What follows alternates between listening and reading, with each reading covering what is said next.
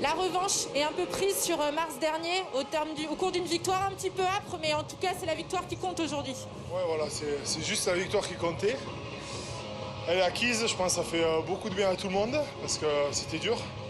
On avait à cœur de, de faire un bon match ici, ça faisait euh, deux fois d'affilée qu'on perdait et, euh, voilà, je crois que c'est chose de faite. Donc euh, on va pouvoir bien profiter ce soir parce que, parce que ça fait euh, cinq semaines maintenant qu'on est ensemble, tout le monde bosse super bien et c'est bien de, de finir par une victoire. Ça fait cinq semaines, mais c'est surtout euh, une année qui se termine pour vous, puisque vous faites partie du groupe des joueurs qui, euh, qui va quitter Marcoussis, qui va quitter l'équipe de France. Vous dites au revoir à l'équipe de France pour mieux la retrouver évidemment en février pour le tournoi, mais évidemment c'est la fin d'une très très belle aventure de cette année 2020. Ouais, c'est euh, franchement c'est une année 2020 magnifique. euh, voilà, euh, je pense que tout le monde aurait signé en début d'année avec ce nouveau groupe. Voilà, on s'est rencontrés, je me rappelle, à Nice.